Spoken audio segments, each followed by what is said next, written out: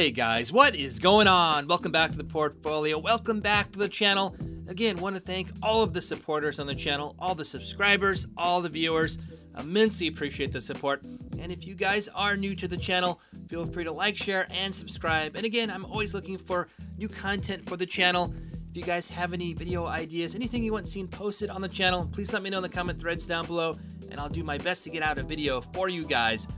For today's video, I thought I would change gears here a bit and talk about a potential trade that cost the portfolio over $200,000, a $200,000 mistake on my part.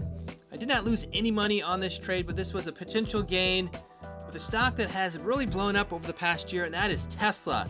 Let's go ahead and take a look at Tesla in the portfolio. It recently underwent a stock split, a 5 for 1 stock split, meaning if you had one share of Tesla, it is now five shares. You can see here Tesla currently trading at 449.50, but that's after a 5 for 1 stock split. So each again, each stock that you had in the portfolio prior to the stock split is now worth 5 shares. You can see I have on the bottom there 35 shares, market value 15,732.50. You can see the incredible total return $14,074 out of a market value of 15,732. So that represents a total return right around 850%. And if we take a look at the longer term graphs up on top, you can see that phenomenal performance over the longer term, past month, past three months, 124.76%. But if we take a look at a little bit longer time frame, 813.62% over the past year, rising from 48, 47, at one point getting up over, I think almost $500 at one point, 498.32. And over the past five years, again, you can see that phenomenal growth and that very large peak here. Now, for my portfolio, I did some options trading with Tesla, and unfortunately, I sold off on October 11th of last year, right when it was trading. Again, this is adjusted for the stock split 49.50 and now you can see it's almost 500 449.50 currently and spiking up to uh, 490s 500 at one point. So I lost quite a bit of money on that trade. If I take a look at the history unfortunately after the stock split you do not see it in the history for Tesla here. Let's go down to all the trades on the portfolio. Again these trades were October 4th and October 11th of last year or you don't see any of those orders here, those options orders. You see some market buys here that I put some money into. Uh, fortunately, before the uh, large increase, that's what's accounting for the 850% return on the portfolio. But you don't see those trades here. But let's go to the total history because you definitely can see those there. So if we go back into statements in history, if we go to all history, you can see all of the transactions on the portfolio. And we can scroll down to the transactions back in last November. Since they're so far down, I'll go ahead and skip ahead to those transactions. So you can see the first transaction here. Again, took quite a bit of time to scroll all the way down to the portfolio. There's probably 500 to 1,000 transactions between this particular order and the current orders that I have. We can see right up on top there a Tesla 235 put assignment. That was back on October 4th of 2019. If we take a look at that order, you can see one contract that represents 100 shares of Tesla. Tesla price at expiration 231. I put in that put contract at 235, so that was below the strike price. That meant I was required to buy one contract or 100 shares of Tesla at 235 on 10-4. You can see it cost the portfolio 23,500 and on the bottom there you can see Tesla buy 100 shares. So back October 4th, 2019, I bought 100 shares at 235. This was a series of transactions that I was doing with Tesla at the time, doing options trading. I've now switched over to Boeing, but I was doing quite a bit of options trading with Tesla. So I went ahead and put in this contract.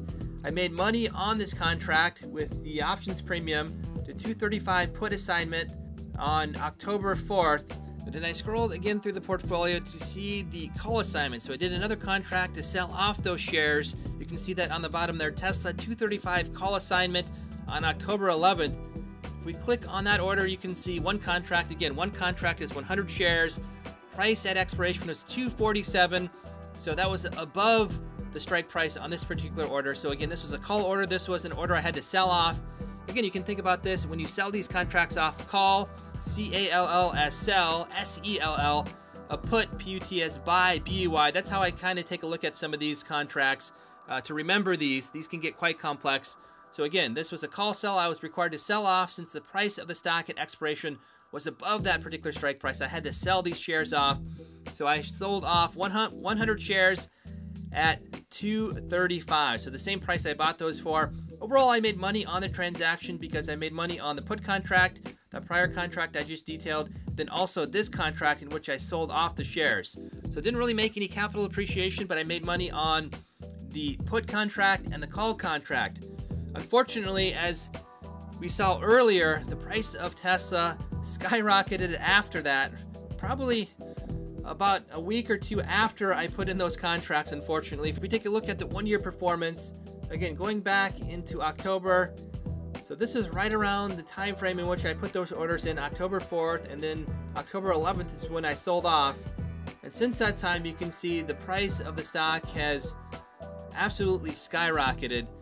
Again, this is adjusted for the stock split. The price of the stock was 235 at that point, but when we take an, into consideration a 5 for 1 stock split, you can see the phenomenal performance. And if we add all of that up, so 235 is when I bought and sold the stock. If we adjust that for the price of the stock, it was 2,247.50 at this point for the 449.50.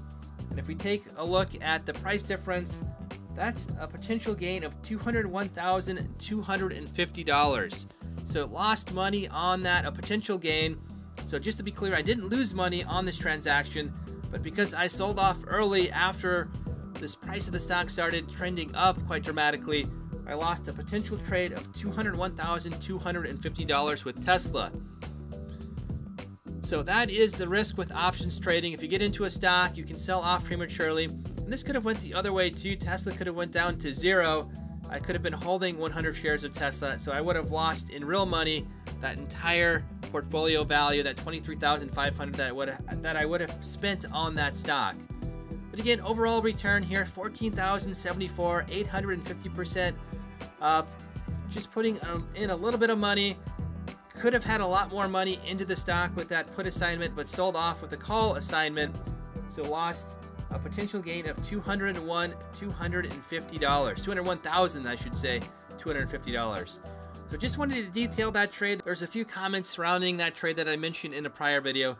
So just wanted to go through all of the orders with Tesla and the potential 200 plus thousand dollar loss, or I should say the potential $200,000 gain on the portfolio with options trading with Tesla. But again, let me know if you guys had any similar experiences trading options. It's a high risk, high reward type of trading style. I do not recommend anyone get into options without fully understanding exactly what the trades that they are doing. On my portfolio, it's worked out. I've had some near misses, and like I said, this trade here was a potential very good gain that unfortunately did not happen because I did sell, sell off those shares before the price of Tesla started trending up. But again, just wanted to detail the trade with Tesla here. Again, I don't want to make the video too long, so I'll kind of end it here. If you guys are enjoying the content on the channel, if you guys do enjoy the video series, feel free to like, share, and subscribe. If you are new to the channel, if there's a particular video that you do not see on the channel currently, let me know in the comment threads down below, and I'll do my best to get out a video for you guys. Again, not to make the video too long, I'll kind of end it here, and we'll see you guys next time.